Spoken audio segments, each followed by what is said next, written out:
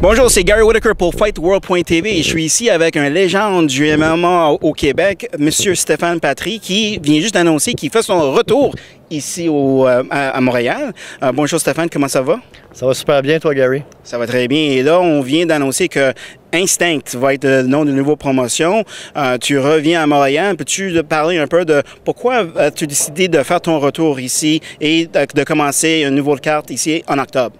Euh, ben, ça fait longtemps que j'y pense, ça fait longtemps que je mijote tout ça, ça fait longtemps que j'analyse tout ça. Puis je pense que le moment rêvé, c'est cet automne. Euh, il y avait beaucoup d'agents libres sur le marché euh, québécois au niveau des athlètes. Il y avait beaucoup d'excellents athlètes internationaux qui étaient disponibles. Euh, il y a des nouveaux réseaux de télévision qui viennent d'ouvrir dans la région, à, Montréal. les réseaux américains sont ouverts à de nouveaux produits au niveau des arts martiaux mixtes. Donc, je m'ennuyais de, de la game, je m'ennuyais du sport.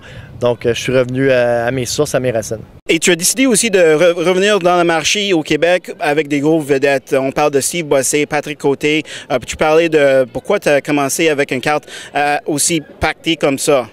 Ben, c'est important d'arriver puis faire un gros boom, un gros splash en arrivant euh, puis euh, que tout le monde voit, autant les fans que la compétition, que les réseaux de télévision, que les commanditaires, euh, que je suis de retour, que c'est du sérieux. Mm. Puis euh, aussi de montrer aux gens que on revient pas à moitié. Vraiment, je reviens pour offrir aux gens la meilleure qualité et même mieux que ce qu'on produisait à l'époque avec TKO.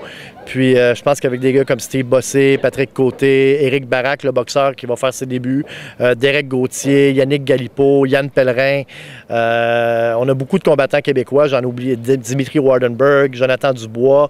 On va avoir aussi beaucoup de combattants de l'Ontario, Sid Barnier, Devin Henry euh, et j'en passe. Vraiment beaucoup de combattants de qualité. Euh, les gens vont vraiment avoir une carte incroyable. Ça va commencer à 7h30 comme tous mes autres événements. Les gens vont avoir une carte complète de 8 combats. Puis ceux qui aiment arriver plus, tôt peuvent arriver à 5h30, 6h. On va ouvrir les portes puis on va avoir 6 autres combats préliminaires. Donc vraiment, on met l'emphase sur les vedettes, c'est certain, c'est ce qui vend les billets.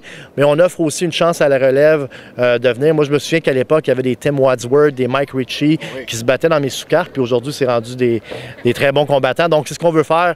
On veut être en mesure d'avoir des combattants pour pousser sur les grosses vedettes dans le futur, pour qu'un jour, ce soit un, gars de la sous-carte euh, qui soit en finale, comme on a fait avec Derek Gauthier, Yannick Galipo et compagnie.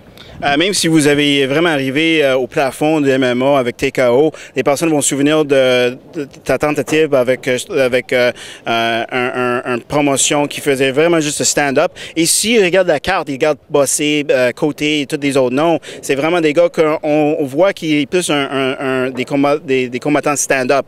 Est-ce que c'est ça ta vision pour de promotion ou est-ce que tu regardes plus euh, MMA en général? Non, je regarde vraiment, si je ça c'est une question que je me suis posée souvent.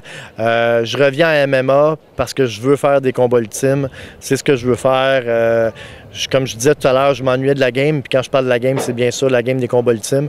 Euh, c'est un sport que j'ai mis sur la carte à Montréal. J'ai travaillé pendant 10 ans d'arrache-pied pour faire accepter ce sport-là, pour le faire comprendre. faut pas oublier qu'au début de 2000, 2001, 2002, 2003, c'était vraiment difficile. Les médias ne voulaient pas en parler, les commanditaires ne voulaient pas embarquer. C'était difficile même de trouver des combattants. Donc je me suis tellement battu pour faire accepter ce sport-là euh, que j'ai réalisé que c'était vraiment mes racines, c'est vraiment mon cœur est là. Euh, regrette pas la tentative que j'ai faite avec le, stand-up. Euh, je crois toujours que c'est un projet qui pourrait être vraiment exceptionnel si un jour c'est bien approuvé par toutes les commissions athlétiques partout. Euh, mais pour l'instant, vraiment, euh, je suis à 100 concentré sur refaire revivre les combats ultimes au Québec.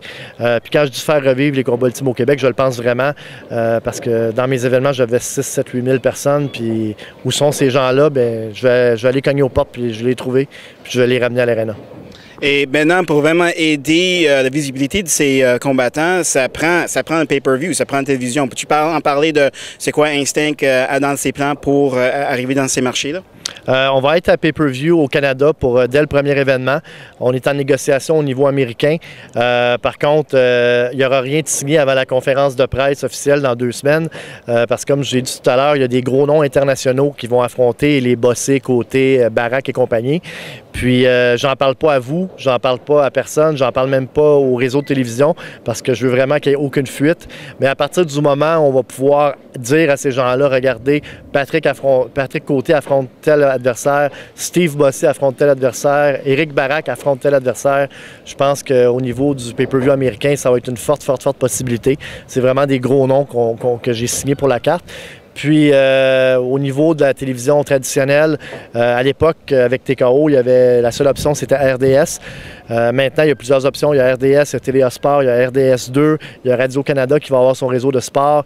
il y a une possibilité peut-être avec V. Donc, présentement, on, regarde le terrain, on analyse ce qu'on peut faire, les offres et tout ça. Puis on veut s'assurer de prendre la meilleure décision dans le meilleur intérêt de notre organisation puis des combattants aussi. Parce que plus le combattant a d'exposure, plus le combattant peut aller chercher des, commanditaires. Puis pour nous, c'est la même chose au niveau de la commandite. Donc, on veut vraiment être vu beaucoup. On veut être vu gros en partant. Puis c'est pour ça qu'on a signé euh, tous les combattants qu'on a signés à long terme. Euh, je pense qu'une question que peut-être euh, les combattants, les entraîneurs, tout le monde, peut-être des gérants, va demander, c'est pourquoi Instinct? Ben, il y a plusieurs avantages. Premièrement, ils savent que ça va être le plus gros show en ville euh, dès le début d'octobre. Euh, quand j'ai quitté euh, il y a deux ans et demi, on était une des plus grosses organisations derrière le UFC. il n'y avait pas beaucoup de monde qui, arrivait à la cheville de TKO au niveau de la qualité des combats, des, athlètes et des événements. puis ils savent qu'avec moi, ça va être du sérieux. Il n'y aura pas de, il y aura pas d'événements annulés, il n'y aura pas de, de, petits événements. Ça va être grandiose à chaque fois. Puis je pense que ma feuille de route parle d'elle-même. Et ça se peut que c'est peut-être la même chose pour les, amateurs d'MMA, parce que ça fait deux événements de suite qui étaient annulés, malheureusement. Euh, et euh, peut-être est-ce que c'est quelque chose aussi pour les amateurs qui vont peut-être, sont un peu peut-être gênés de, dépenser ou de penser de dépenser de l'argent pour un événement qui encore va peut-être être annulé? Non, l'événement, c'est sûr que peut-être qu'il y a certaines personnes qui vont se poser la question. Euh, par contre, de notre côté, euh, c'est sûr que ça n'arrivera pas. Euh, le show est déjà en branle. les contrats des athlètes sont signés. Les contrats de télévision sont avancés. On a de très bons commanditaires. on est très solide financièrement. Donc, the show will go on. Et ça prend une bonne équipe derrière ça pour aider euh, avancer tout. Euh, peux-tu parler un peu de l'équipe derrière Stéphane Patry euh, qui, qui t'aide qui, qui pour, pour mettre cette show en marche? C'est sûr que pour le premier événement, je voulais vraiment que l'événement soit à mon image. Donc, au niveau du matchmaking, j'ai vraiment pas mal tout fait moi-même. j'ai eu de l'aide un petit peu de Chris Cordero, un de mes bons amis aux États-Unis, qui est le gérant de beaucoup d'athlètes aussi, qui était aussi mon matchmaker pour les shows Instinct debout aux États-Unis. donc, Chris va avoir beaucoup plus de responsabilités dans les événements à venir. Dans le premier, je voulais vraiment être euh, certain que J'allais offrir aux fans ce qu'ils voulaient voir pour vendre des billets, pour que les gens aient vraiment des match-ups qu'ils veulent voir.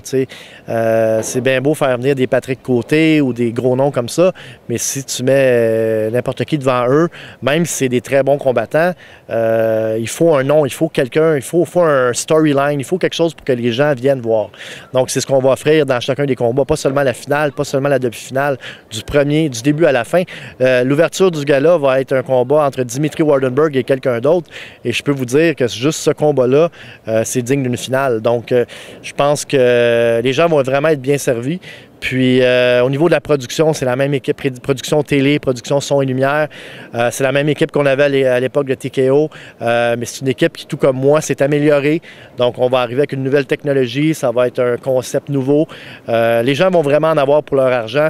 Puis ce ne sera pas juste une lumière allumée au milieu du ring avec des combats, ça va vraiment être un show multimédia, un, un feu roulant d'action avec les meilleurs athlètes au Québec, puis quelques-uns des meilleurs athlètes internationaux. Donc les gens vont être bien servis malgré ça, tu vas quand même avoir des critiques qui vont peut-être s'annoncer dans les prochains jours. Euh, je peux penser à un gars qui était déjà, euh, qui, est toujours à, quelque chose à dire de, ta part, un gars comme Steve Claveau. Est-ce que peut-être vous autres, vous deux, vous êtes vraiment des amis en secret? Est-ce que c'est ça? Et vous aidez à faire de la un peu? You know, there's no such thing as a bad, a bad promotion, right? Euh, est-ce que c'est quelque chose où as-tu une réponse pour des critiques déjà? Bien, c'est sûr que n'importe quand que tu, fais quelque chose dans la vie euh, puis que tu as des décisions à prendre, c'est sûr que quand tu prends une décision, il va y avoir quelqu'un d'heureux, il va y avoir quelqu'un de mécontent. Mm. Ça fait partie de la game.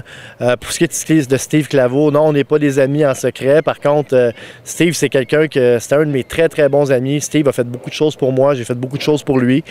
Puis bon, les événements, euh, il y a des événements qui sont arrivés qui ont fait que, que Steve euh, a décidé que, que, nos chemins euh, se décroisaient. Puis je respecte ça. Je veux dire, il a le droit à son opinion, il a le droit de critiquer, c'est un droit. Je veux dire, il n'y a pas personne qui peut l'empêcher de faire ça. Puis moi, j'ai rien vraiment de mal à dire sur lui, mais lui, bon, c'est sa personnalité, c'est comme ça qu'il est, mais je respecte ça. Mais sais, les critiques, là, euh, juste donner l'exemple, Gary Bettman, le président de la Ligue nationale, il fait une super bonne job pour la Ligue depuis, depuis 10 ans. Euh, les revenus de la Ligue ont cinquuplé. Euh, il y a des nouvelles franchises. Bon, la, Ligue nationale est vraiment en santé, mais à chaque fois que Gary Bettman est vu en public, il est hué par tout le monde. Donc, il faut vivre avec ça. Je veux dire, si j'avais pas envie de me faire huer, ben c'est pas le métier que je ferais. Euh, une autre question. Je suis pas vraiment un gars qui écoute des rumeurs, mais un rumeur qui parle de, ta santé, je pense que c'est très important pour poser la question. Euh, il y avait des rumeurs que vous avez eu le, cancer. Peux-tu parler de, de ces rumeurs-là? Oui, effectivement, j'ai eu un cancer de la peau. Euh, j'ai eu quatre opérations. J'ai eu un petit peu de radiothérapie au niveau des endroits où j'ai été opéré. Puis, euh, je suis en rémission, ça fait six mois. Donc, ça va vraiment bien. C'est sûr qu'une rémission, c'est cinq ans avant d'être certain à 100% qu'on n'a plus rien. Puis, euh, je vois un dermatologue aux trois mois, je vois un dermato-oncologue aux six mois.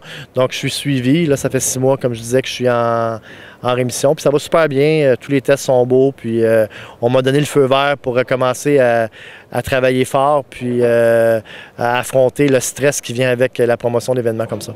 Est-ce que ça fait partie de ta, de décision de retourner pour faire du MMA au Québec, la, bataille que vous, avez, faite contre le cancer, de peut-être retourner et faire la bataille euh, ici au Québec euh, pour, euh, avoir un autre chemin, une autre piste pour les combattants? Bien, quand j'ai eu le cancer, j'ai fait tout ce qu'on me disait de faire pour, pour que ça se guérisse rapidement puis que je gagne la guerre rapidement. Puis je reviens à MMA, puis je vais faire tout pour que, gagner la guerre rapidement aussi. Alors, ça, c'est Stéphane Patry ici pour FightWorld.tv. As-tu un message pour tous les fans et, tous les, euh, amateurs de MMA? Ben, préparez-vous pour le mois d'octobre parce que les vrais combats ultimes sont de retour à Montréal.